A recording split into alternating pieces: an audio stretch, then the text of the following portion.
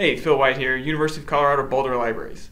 In this video, I'm going to show you how to use GeoRef, a great resource for finding literature in the geological sciences.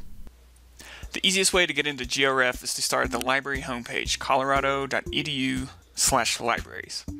Once you're there, click on A to Z databases right in the middle of the page. And if you click on G and scroll down, you'll quickly see GeoRef. So once you're in GeoRef, I always recommend just starting off with an advanced search.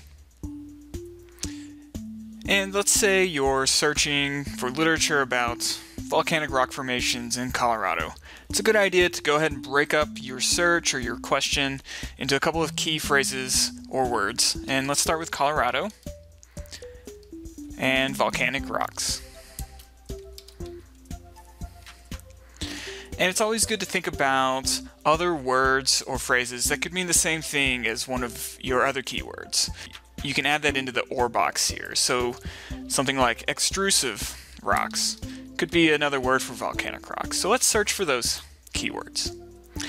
Now when we get to the results page, I want to show you a couple of things about the types of sources here. You'll find scholarly journals, you can find dissertations and theses, there's lots of different types of things covered in GeoRef, and that's one of its advantages.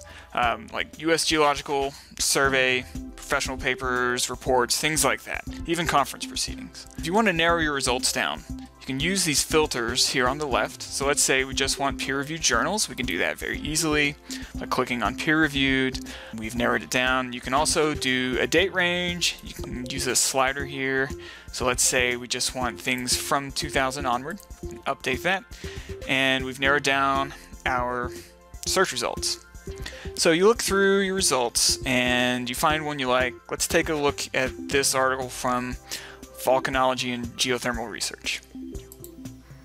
A couple of things on this page you want to be aware of. The email tool, so let's say you find an article that you like, you want to come back to it later. You can email a link to yourself really quickly and easily here. You can generate a citation that you can copy and paste out of here and save it to your working notes or document. What you're going to get on this page is the abstract. Sometimes you get full text, sometimes not.